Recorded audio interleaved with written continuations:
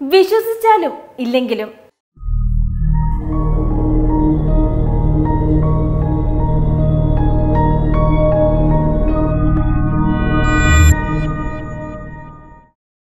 സിംഹങ്ങൾ സാധാരണയായി മനുഷ്യരെ വേട്ടയാടാറില്ല. എന്നാൽ ഇനി പറയാൻ പോകുന്നത് സാധാരണ സിംഹങ്ങളുടെ കഥയല്ല. സാധാരണ സിംഹങ്ങളല്ല നരഭോജി സിംഹങ്ങൾ. മനുഷ്യനെ പകയോടെ വേട്ടയാടിക്കൊല്ലുന്ന രണ്ട് സിംഹങ്ങൾ.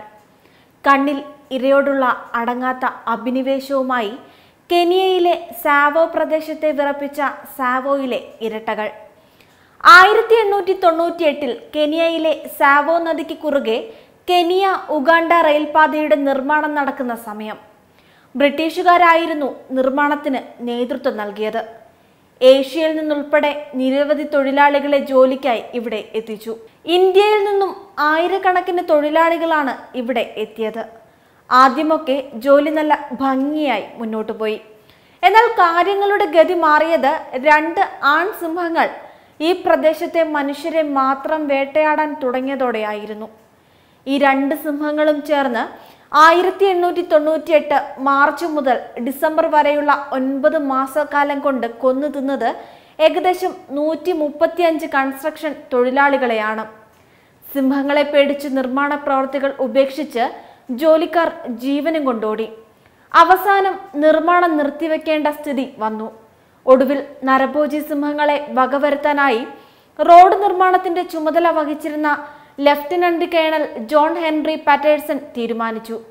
സിംഹങ്ങൾക്ക് വേണ്ടിയുള്ള വേട്ടയാടൽ ആരംഭിച്ചു. ഒടുവിൽ ആർക്കും പിടികൊടുക്കാതിരുന്ന രണ്ട് നരഭോജി സിംഹങ്ങളെയും അദ്ദേഹം വകവരുത്തി.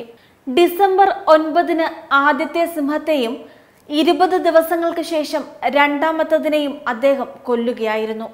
ശേഷം ഇരുപത്തിയഞ്ചു വർഷം സിംഹങ്ങളുടെ തോൽ ഇദ്ദേഹം തന്റെ വീട്ടിൽ സൂക്ഷിച്ചു. പിന്നീട് ആയിരത്തി തൊള്ളായിരത്തി ഇരുപത്തിനാലിൽ ഈ തോലുകൾ പാറ്റേഴ്സൺ അയ്യായിരം ഡോളറിന് ഷിക്കാഗോയിലെ ഫീൽഡ് മ്യൂസിയം ഓഫ് നാച്ചുറൽ ഹിസ്റ്ററിക്ക് വിറ്റു. സിംഹങ്ങളുടെ തോലുപയോഗിച്ച് മ്യൂസിയം അധികൃതർ അവയുടെ രൂപം പുനഃസൃഷ്ടിച്ചു. ഈ രൂപങ്ങളും അവയുടെ തലയോട്ടിയും ഇപ്പോൾ ഫീൽഡ് മ്യൂസിയം ഓഫ് നാച്ചുറൽ ഹിസ്റ്ററിയിൽ കാണാനാകും. ഏറ്റവും കൂടുതൽ പേരെ കൊന്നുതിന്ന സിംഹങ്ങൾ എന്ന ഖ്യാതിയുള്ള സാവോയിലെ നരഭോജികൾ എന്തുകൊണ്ടാണ് മനുഷ്യനെ മാത്രം ഇത്ര പകയോടെ വേട്ടയാടി കൊന്നു എന്നതിൽ കൃത്യമായ ഉത്തരമില്ല. അതേസമയം ഈ സംഭവത്തെ ആസ്പദമാക്കി സിനിമയും വന്നിരുന്നു. ആയിരത്തി തൊള്ളായിരത്തി തൊണ്ണൂറ്റി ആറിൽ പുറത്തിറങ്ങിയ അമേരിക്കൻ സിനിമയാണ് the gods and the darkness Stephen Hopkin സംവിധാനം ചെയ്ത ചിത്രത്തിൽ വാൽ കിൽമർ മൈക്കൻ ഡാംഗ്ലസ് എന്നിവർക്കൊപ്പം ഇന്ത്യൻ സിനിമയിലെ അതുല്യ പ്രതിഭയായ ഓംപുരിയും പ്രധാന വേഷത്തിൽ എത്തിയിരുന്നു.